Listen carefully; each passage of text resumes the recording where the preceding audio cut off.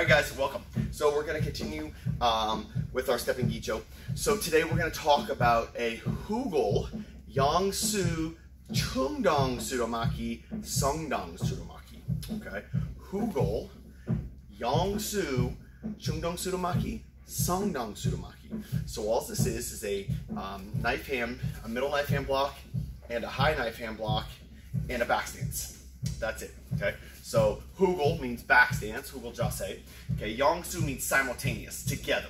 Okay. And then chungdong sudomaki, sungdong uh, sudomaki. So now what you're seeing, okay, is the opening move for Pyongan Sadan, right? So Pyongan number four.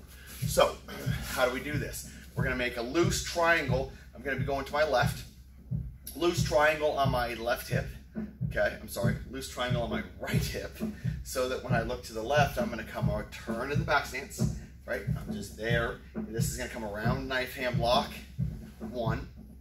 And basically this is an open hand high block, that's all this is. So you will have seen this move in Pyongan Idan as well, and that would be a Hugel Yang Su, same thing, right?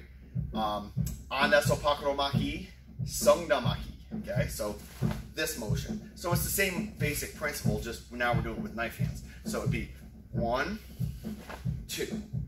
Okay? So if I was gonna step towards you, I'd cover, I would step, knife hand block. Now, again, it's not around this motion. This is coming up high. So as I do this, it's one, moves together, one, and then this one shoots up. So from here, one. Okay, so we don't want to see this because look where this this hand is doing me no good, right? So if I get into the habit of doing here and it's coming down, now I'm just hugging it on top of my head. All right, so this comes straight in and this follows and then at the last minute fires up. Okay, so again, advancing with this. So one, step, two. Cover on the front hip, step, three.